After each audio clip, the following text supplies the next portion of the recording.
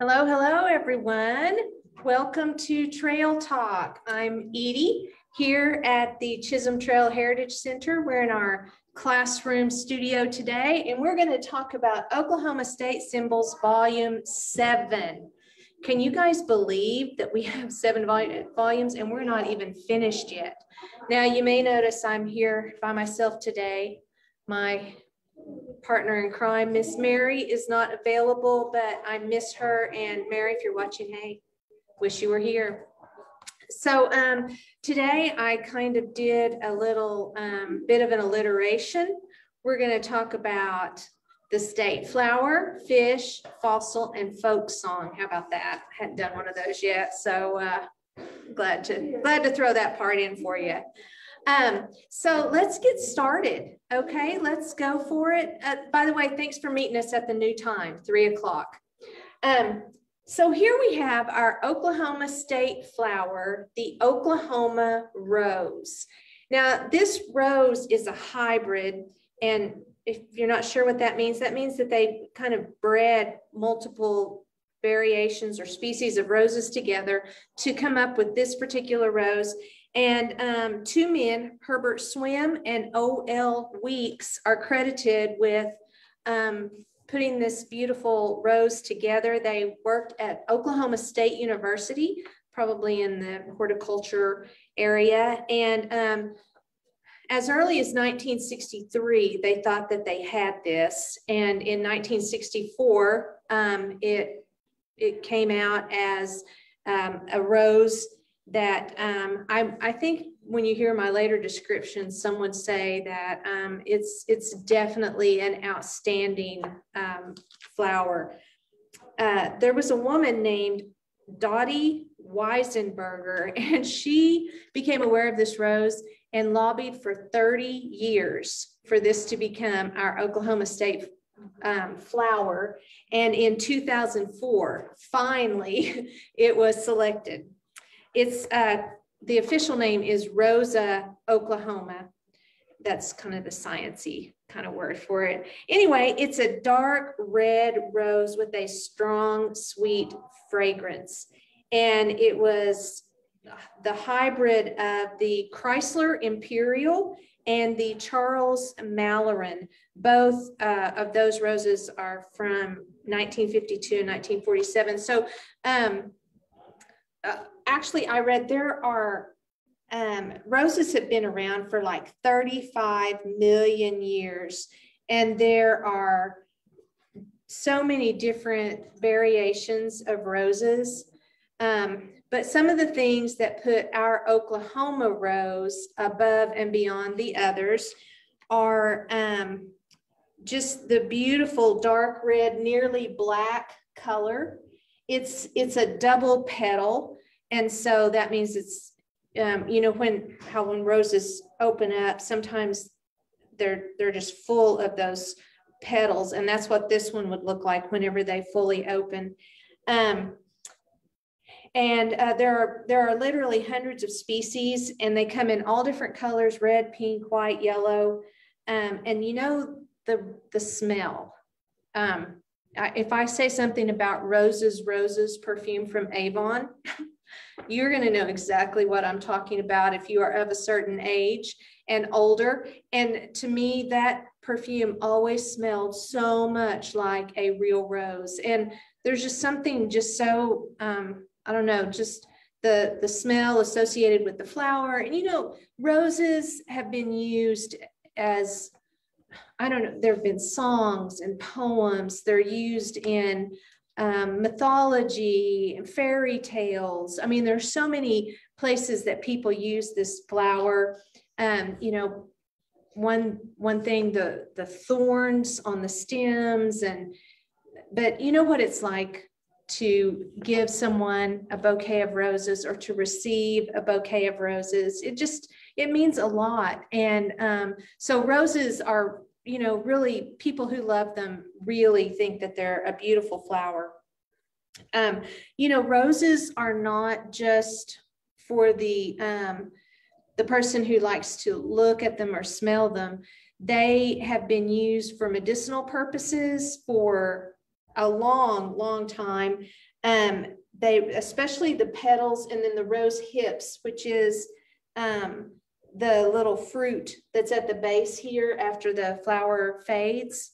There's the little rose hip there and birds uh, will eat those as well. Um, but yeah, you know, rose hip, I think there's probably like an essential oil or the actual rose hip. There's probably some kind of vitamin C. A, a vitamin. It's full of vitamin C. Oh, it's a source of my uh, off-camera assistant today.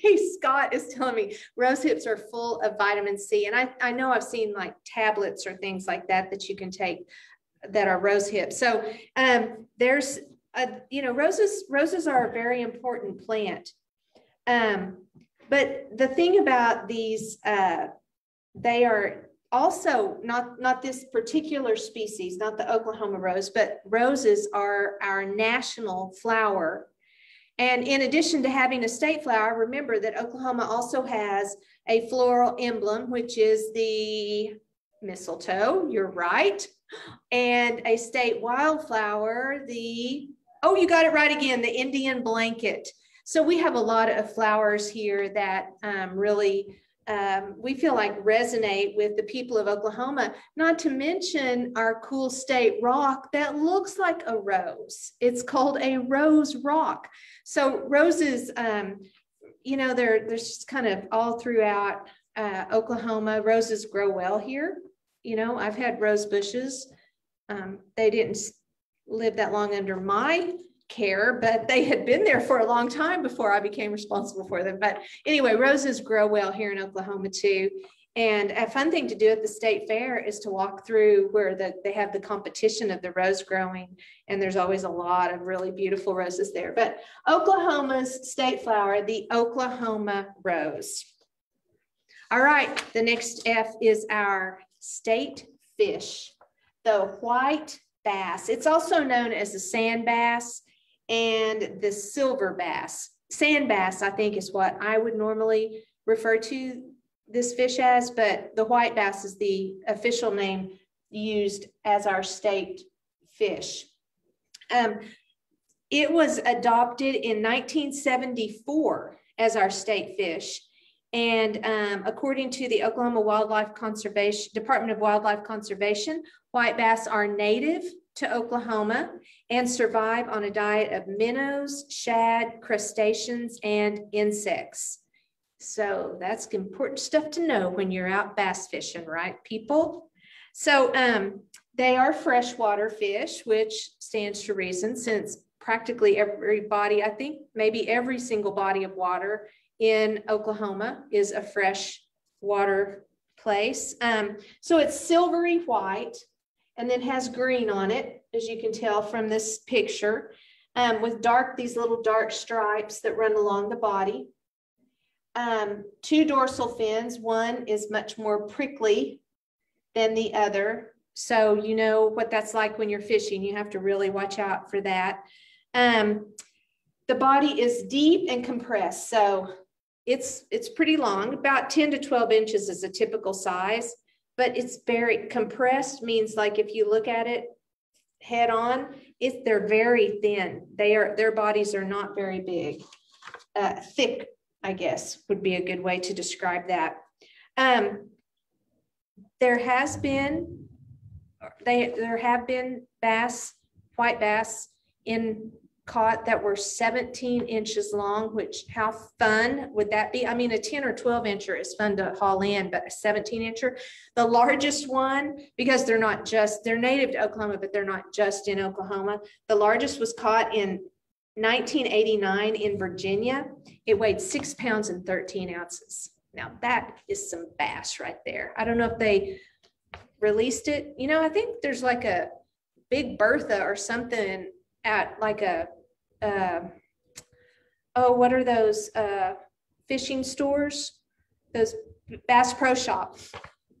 Seriously, I couldn't think of that. Bass Pro Shop had they have had like this big old bass in there. I've seen it named Big Bertha, and Big Bertha was big. Now I don't know how much she weighed, but anyway, so these guys are carnivores. You can tell from the crustaceans and minnows and all that that I mentioned earlier. they're visual feeders. So that means, you know, they see something and then they'll go after it to eat it. And if they're if they're not frightened, they will bite live bait like minnows and worms. So if you're going to go fishing, I'm going to give you some fishing tips, hot catch your bass tips because they are about to start spawning and they'll start right now. The water's the right temperature. I'll tell you what those temp that temperature is in a minute through May. So it's a good time to go out and maybe try to catch some. Um, but if you're going to use live bait, then you need to put it on like about a 12 inch leader off the end of your line. And you probably want to be fishing from a boat to do this um, so that the bait can just kind of hang down there. That way, if they see it, they'll hit it. And you'll, you know, this the leader be attached with a swivel with a little weight up there.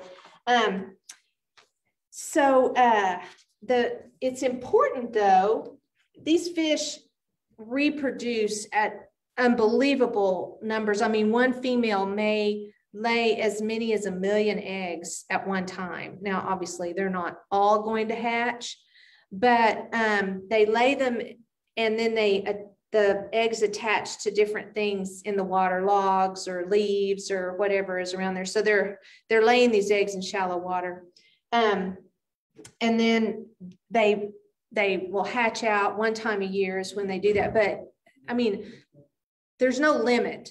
These these fish are not um, endangered or on any kind of watch list because they can reproduce so easily and so rapidly. But it is important for them to not, there not be too many. This is a great reason to go fishing. you don't want too many in your in the body of water because they need to be able to eat enough in the springtime to get enough fat or lipids on their body to be able to withstand a cold winter when there won't be as much um, little things for them to eat. But, you know, people aren't going to go throw minnows and worms in the water to try to catch them in the wintertime either. So they're ma- they're in large reservoirs and rivers. You know, you can put some in your pond and play if you have a large enough pond. Um, and it's interesting mentioning about the reservoirs. So they are native to Oklahoma, but they were not found in great numbers until the re reservoirs were constructed. So side note, if you're not aware of this, there are no natural lakes in Oklahoma. They're all man-made reservoirs and there are over a hundred of those in our lake. And I looked to see they, they began building them around 1930 and all the way to about 1970. And so um, during that 40 year time, Oklahoma added a lot of lakes to our, um, I guess, our, our landscape. And even though it seemed like maybe the reason to do that was because, you know, the Dust Bowl happened in the 30s. And so it didn't seem like there was enough water. But in reality, the rivers, because of the fluctuation of drought and heavy rains, the rivers would overflow. And so by building these reservoirs, it was really a, a kind of a ecological th good thing to do because it helps keep these rivers from overflowing. There are places for the water to be held. And so anyway, um, a great thing that Robert S. Kerr and Carl Albert did were in, in conjunction with each other, kind of made all that happen in our state. Um, so as I mentioned earlier, they are spawning right now. The ideal or optimal water temperature is 58, 54 to 68 degrees. So that's a little chilly for me, but these fish like it right then, like at that temperature. And so they're going to be spawning. They spawn during the day. Um, one other thing that you can, uh, there, they, this points out something, this um, arched back, that is something that this particular bass has that is unique um, compared to other bass. The others, there it doesn't arch up quite as big right there. They have one round or heart-shaped patch uh, on their tongue, and this said that they only have one tongue patch. I really don't know what a tongue patch is on a fish. I'm not at all sure. Maybe if some of you viewers know, you could send me a message and tell me because I'd like to know. They also are in large schools. And if you're wanting to go catch some bass in the summertime when the shad, you know, shad are like small little bait fish that you put on trot lines, things like that. Um, when those are running and it looks like the water's boiling, um, you can throw, you can catch shad, but you can also catch bass who might be in there feeding on those shad. So that's a good thing to know. Um, I mentioned earlier that there's no limit. The way the information um, I found stated that is that there's no creel limit, C-R-E-E-L. So if you don't know what creel is, it's um, like a basket, you know, that you would keep your fish in when you catch them, a creel basket. So basically what's that saying, what that's saying is that there's no creel limit, there's no catch limit on white bass. So that's a, that's a really um, good thing to know. So here are some additional fishing tips. Um, a lipless crankbaits in gold, silver, or red, sassy shad in pearl white, shallow or medium diving, lipped crankbaits in shad color variations, and small white marabou jigs and curly tail grubs. Go stock your tackle box now and go get ready to catch some of these fish. Um, if you're using an artificial lure like the ones I just described, be sure you have a slow, steady, you know, you're just kind of cranking and pulling and keep it slow and steady because you don't want to frighten the fish you just need to get their attention and they'll do all the work. Um, okay, so that's that's all the information about the white bass, the sand bass. I've never heard of a silver bass, but they do say that that's a, another name that they are um, known by. So Oklahoma State fish, the white bass. Now we're going to talk about our fossil. And I'm going to do my best to say it I might say it one or two other times, but I'm not going to repeat this a lot. So it's a Saurophaganax maximus. And you all can probably guess this means big, really, really big. Um, this guy was named our state fossil in 2000, and it was a huge predatory dinosaur, larger, most people would agree, actually larger than a T Rex although you can tell it has a longer neck and it, it has these shorter front legs, but not as short as a T-Rex. Um, so it's really an Allosaurus. It's not the Tyrannosaurus. So it's a, a creature that has a longer neck.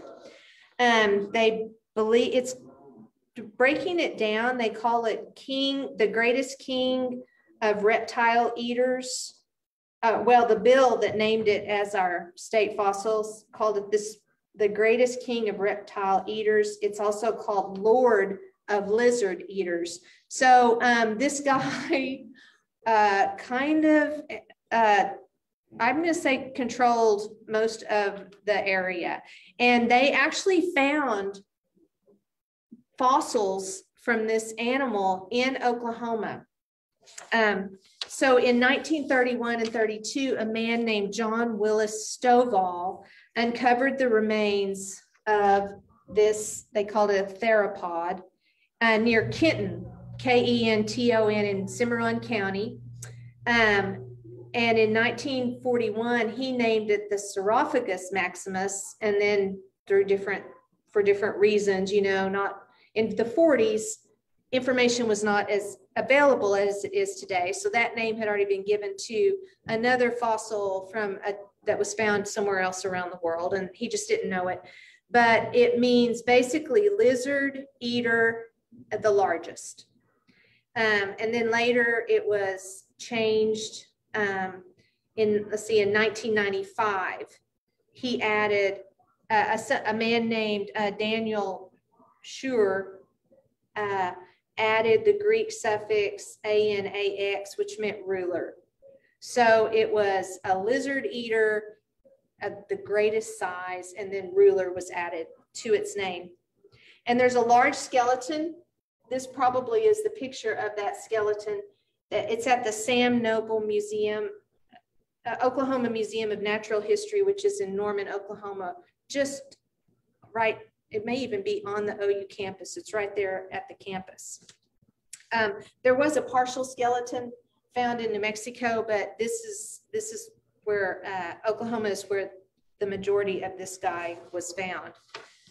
Um, they believe that it was probably about 46 feet in length, which is very, very big. I mean, I don't know, that just blows my mind.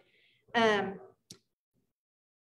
but it, and of course it was a carnivore. We can definitely tell by its teeth here, long, sharp teeth for ripping and de devouring meat, put it in bite-sized pieces and probably swallowed it whole. I don't really see any flat or chewing teeth. So they just probably swallowed whatever they grabbed, shredded it a little bit, and boom, took it right down, gulped it down. There's a lot of cool information about our state fossil out there. I mean, I didn't even know, I didn't know anything about this dinosaur until I was um, studying this information. So um, it's it's got a lot of great historical um, significance to it. And the fact that it was here in Oklahoma, I'm sure that for people who study all of those things, that it's a pretty important piece of history that they found. Okay, so lastly, I'm going to talk about our folk song. But before I get to the song itself, I want to introduce you to Woody Guthrie. He is the man who wrote and composed our state song, Oklahoma Hills. Now, um, Woody Guthrie was named, he was born, uh, let me find this, in July, let me find it, July 14th, 1912 in Okemah, Oklahoma. His full name is Woodrow Wilson Guthrie. He went by Woody. He, there were five kids in his family. He was the third. And um, he wrote two autobiogra autobiographical novels, numerous essays and articles, more than 1,000 songs and poems, and hundreds of letters.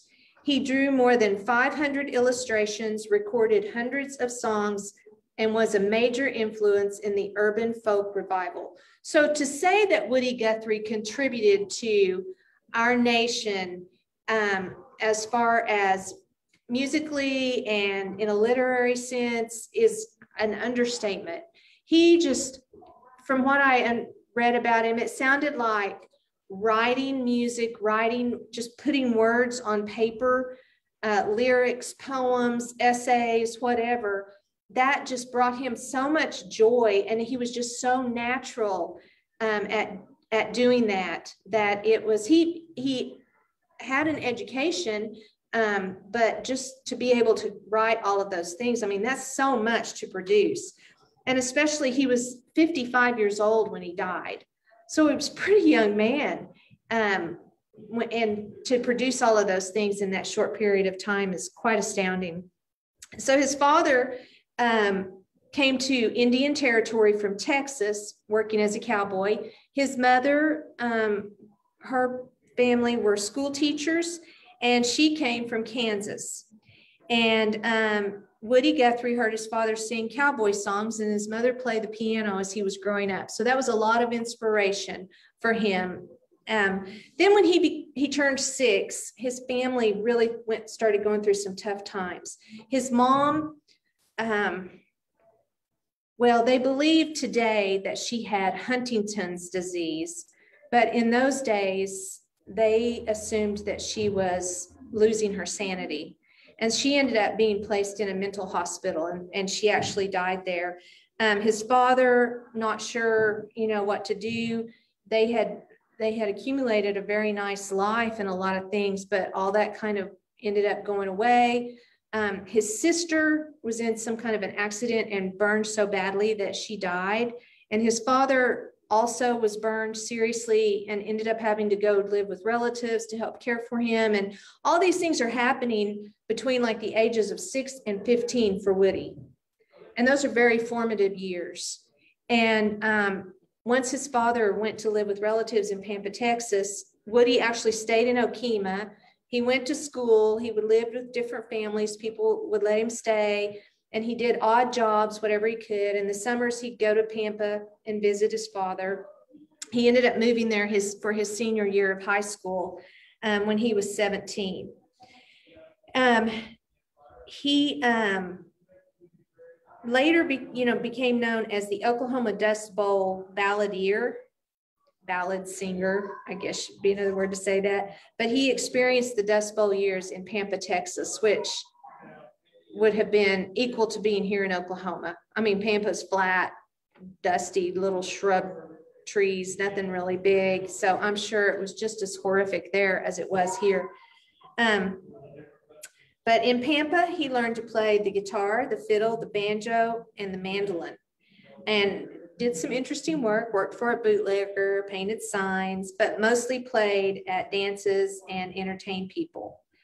Um, his desire to be a country western entertainer drove him to California, and uh, he had married, and he and his wife got there a few months before his second daughter was born in July of 1937. So he moved moves out to California, um, kind of, I don't know if it was actually Grapes of Wrath style, but it was during that time period when people were leaving Oklahoma and going west, just looking for a life that wasn't so meager and almost hopeless. I mean, it was, those were very difficult days here in our state. So, um, Woody ended up in the Los Angeles area. He had a cousin named Jack, and they started performing together. Uh, they were on a radio show, and then his cousin left, and uh, Woody paired up with a lady named Maxine Lefty Lou Crissman, and they had thousands of fans um, who would listen to them on the radio. And during that time, he wrote a lot of songs, including Oklahoma Hills. Um, in March of 1940, Guthrie recorded songs for the Library of Congress, making him a, uh, a central figure of our nation during those days. That, that shows you the impact he was having on our country as a whole and something that people at the Library of Congress felt that that would be important for him to do would be to record his music for them. Um, and uh, then he went to New York and recorded songs for RCA Victor, ended up in Portland, Oregon, where he wrote 28 songs in 28 days. That has like quotation marks around it. So I don't know if that's a little bit of a stretch, but um, in the 40s, he wrote So Long It's Been Good to Know You, Bound for Glory, and the one everyone knows, This Land is Your Land. He joined the Mer Merchant Marines during World War II and on uh, the day Germany surrendered, he was drafted into the US Army. And then in 1944, he started recording. And during the next six years, he recorded approximately 200 sides, possibly more, all his own songs, and then also traditional and country songs. And I think sides is referring to like the two sides of a record. Um, so that was, that's a lot he was, it sounds like he was in there working all the time. Well, in 1950, he began showing the symptoms of Huntington's disease, the disease they now believe took his mother's life. And it also caused the disintegration of his family. Um, he, uh, his songs weren't only songs that people learned and, and sang along, but they it was kind of like a documentary. He was documenting the things that were happening in our country. So it was like historical information, basically, was what he was writing. He was just setting it to music, which is, I mean, what a brilliant way to hold history, right? To write lyrics and put it to music, and then people sing it and hang on to history like that. I think that's a what a great contribution from Woody Guthrie.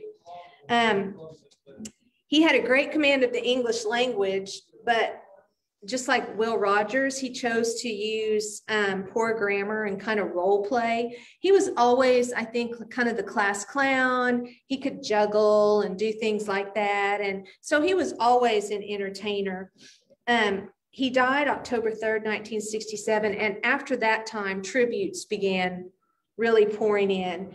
Um, he in 77 he was posthumously inducted into the nashville songwriters association hall of fame 1988 rock and roll hall of fame.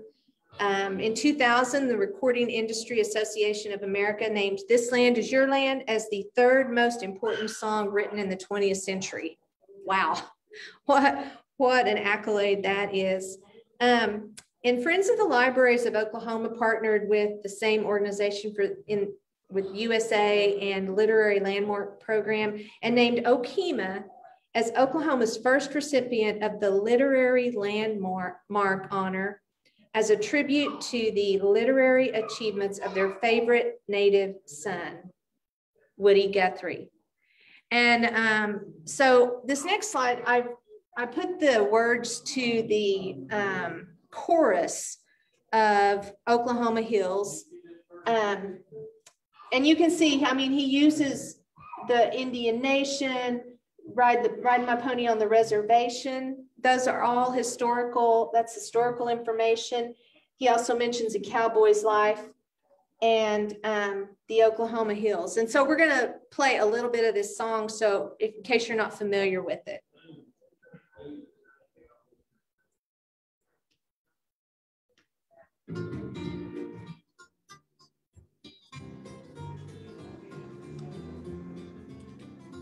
Many a month has come and gone since I've wandered from my home. Those Oklahoma hills where I was born.